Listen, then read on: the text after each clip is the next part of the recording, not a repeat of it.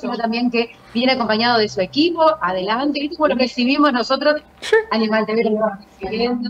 Bueno, Luis, contanos, no venís solo, sino venías acompañado ya por la gente de salud. Venimos con el equipo de salud para la campaña. Este, se acercan las vacaciones, hay que cuidarse, hay que vacunarse. También eh, para algunos consejitos por el tema del calor, la calor. Así que eh, aprovechando, el, este operativo se va a hacer hoy, el otro jueves y el 4 de vuelta acá, el 4 de enero, acá en el auditorio.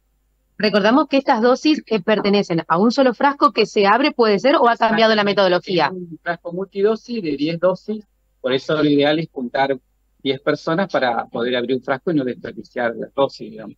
Por eso durante el año se hacen en, en la asistencia pública un día de la semana específicamente para vacunar. Siempre hay que vacunarse antes de viajar, como mínimo entre 10 o 15 días, para generar un efecto de protección, digamos, a las personas. Este, y bueno, y después yo siempre aconsejo el tema del uso de repelente en horas típicas de la playa, al atardecer o, o en lugares, excursiones de, selváticas que, que, vayan a lugares donde hay mucho mosquito. Ahí es donde tenemos que tener cuidado de protegernos con, con repelente y todo. Bien, ¿a qué lugares eh, recomiendan ustedes que sean vacunadas aquellas personas que elijan un destino para vacacionar en estas vacaciones? Bueno, eh, lugares en otros continentes, África, es típico esta enfermedad, el común, en América del Sur, en toda la parte de las playas, donde hay zonas tropicales, como Brasil, al norte de Argentina. Eh, así que en todos estos lugares hay que tener la vacuna. Se exige por el Ministerio de Salud o por OPS la, la, aplicación de la vacuna de fiebre amarilla. Bien, ¿cómo es eso de una dosis o dos dosis? Eh, antes era cada 10 años el esquema, digamos, de vacunación. Ahora es única dosis de por vida. Y a partir del año de edad ya se puede aplicar la vacuna. O sea que si vamos con un bebé de un año, también lo tenemos que vacunar al bebé. Este, hasta los 59, antes de mayores de... Eh, menores de 60 años, perdón.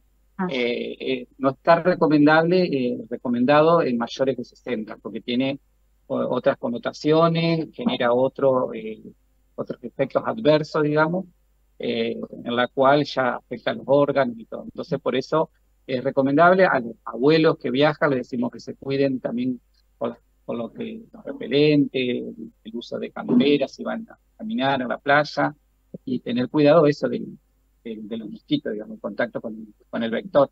Bueno, ustedes también, más allá de la vacunación, después le eh, dan un certificado, o sea, como un cartoncito, ¿ya mismo del color amarillo o han cambiado? No, de color amarillo, bueno, se puede ahora directamente en el CISA, en el Sistema de Registro Nacional, uno puede ingresar y, y, y imprimir el, el, cartel, el, el carnet, digamos, donde es un carnet que tiene una validez internacional, donde se exige, digamos, como documentación tenerlo, ¿sí? Por eso, igualmente, si alguien está vacunado y lo perdió el carnet, lo, le podemos hacer duplicado, no hay problema por eso. Bien, ¿el duplicado dónde lo pueden pedir entonces? En cualquier centro de salud o específicamente por ahí eh, más efectivo en la asistencia pública, que es Perú 74, en el hospitalito, donde está el vacunatorio, que ahí es donde se hace la vacuna durante el año, digamos. Bien. Solamente vacunación de fiebre amarilla la van a estar haciendo hoy, como dijiste, la próxima semana la y en salud pública. Semana, el 28 en salud pública y el 4 de enero, de enero de vuelta acá en el auditorio. Pero no en los otros, otros centros de salud. No, no, no, siempre se, se busca lugares específicos, digamos, para poder. Porque no, como ya decíamos, no, no podemos manipular un frasco con multidosis y, y desperdiciar dosis. Por eso es aconsejable hacerlo en un solo lugar o en unas campañas en este caso. Bueno. Que esperamos gente, pues ya muchos nos se contactaron que iban a venir. Entonces, recomendamos esto, que vengan antes de viajar y no que a último momento, porque la vacuna tiene que hacer efecto para cuando generar anticuerpos, digamos, el sistema inmunitario para proteger de esa enfermedad. ¿Da algún tipo de reacción en la vacuna, como otras vacunas que puede dar fiebre, dolor? Puede dar fiebre, puede dar eh, malestar o dolor en el lugar de aplicación, se puede aplicar de forma intramuscular o subcutánea, depende de las dos maneras, de las dos vías, no hay problema. Este, y los síntomas cuando hay eh, fiebre amarilla son parecidos a los del dengue. Malestar general, dolor de cabeza, fiebre, dolor muscular, cansancio, pérdida de peso, todo eso eh, igual eh, si es aguda la enfermedad. Uh -huh. Si ya es grave, hasta puede llevar a la muerte.